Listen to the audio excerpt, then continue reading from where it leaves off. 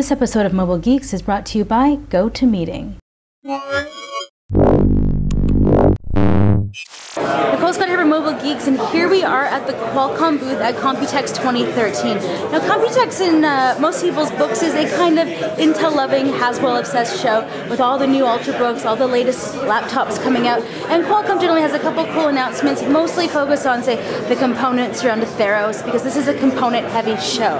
But there's actually a few demos here that are definitely worth taking a look at because of the Snapdragon 800 processor. Now, if you remember from Mobile World Congress, we actually gave the 800 processor the uh, most innovative hardware, most best enabling technology, because while I just cannot get over how awesome that 8.1 surround sound is.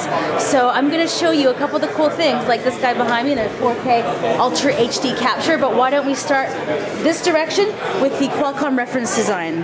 So this is actually running a Snapdragon 400 processor, which is you know a mid-range uh, for the masses kind of processor. So what we have here is a PSU we, uh, with micro USB.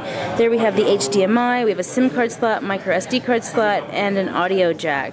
On the back here we have a camera, but the thing is that can be any megapixel because the manufacturer can take that and do exactly what they want with it. It is not getting hot even though it's running this this great graphics benchmark here. So you can see there's 100 fish and it's a 1280 by 7, well 656 window size here. But the display is actually 1080p so it's more than able to handle that. So you can see that it's on a 7 inch device as well running the exact same demo. So what's nice about this is that Qualcomm's reference design isn't just 10 inches, it can scale down to 7 as well. Taking a closer look at this device, we have the same set of ports, um, micro USB, HDMI, SIM card, and micro SD with a headphone jack. Again, there is another camera there on the back. And the thing is, is that I would love to see it this thinner, but then that's the job of the partner who decides to pick this up. This is also running on the Snapdragon 400 processor. So here we have the 800 tablet reference design for developers to play around with to optimize their applications for the processor.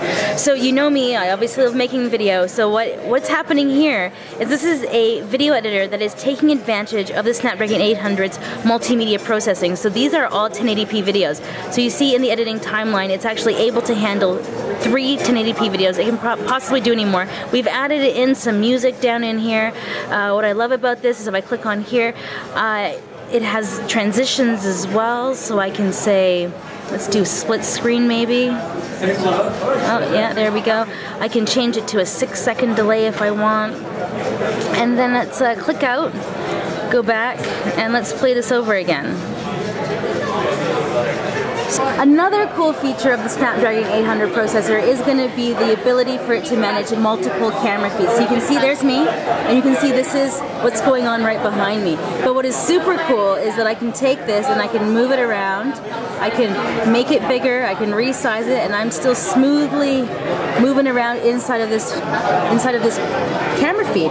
So this is just another really cool feature from the Snapdragon 800 chipset. Now before I get into this crazy scene behind me of the Ultra HD capture, why don't we hear from our sponsor? I mean, Computex is in full swing and everyone is descending upon Taipei to kind of check out the trade show. If you spend any time following me, you'll know that I travel so, so much. I spend a lot of time on the road. If you haven't already checked out GoToMeeting with HD Faces, you really should. You can share the same screen and launch or join a meeting from anywhere using just your computer, smartphone, or tablet.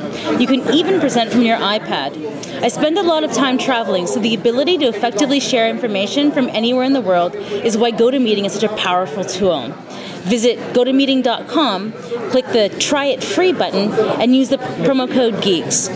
Remember to use the promo code GEEKS to support our show. Now why don't we get into some Ultra HD capture. Qualcomm has set up this really interesting demo here where we have a camera up here running a Snapdragon 800 processor.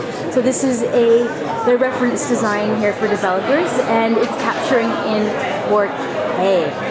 Now we have this beautiful artist here making his watercolors and then we're going to go over here and check out what's happening on the developer platform running the Snapdragon 800 processor. So what we have is we're having 4K or Ultra HD camera here capturing this gorgeous content here, streaming it onto this tablet and then onto the TV. So we're seeing this all on the Snapdragon 800 processor. So let's take a walk around this tablet just to see what's going on. So up, here at the top you can see that we have a power button uh, there is a headphone jack, obviously. Uh, that's a rotation, uh, yeah, that's a rotation lock. And then we have a volume rocker. Over here on the side, we have a PSU, HDMI. There's a USB 3 there. Me get a better angle for you. Yeah, there's a USB 3 there, and then we have a full-size SD card slot. This is running a 1080p display, even though it is capturing 4K content.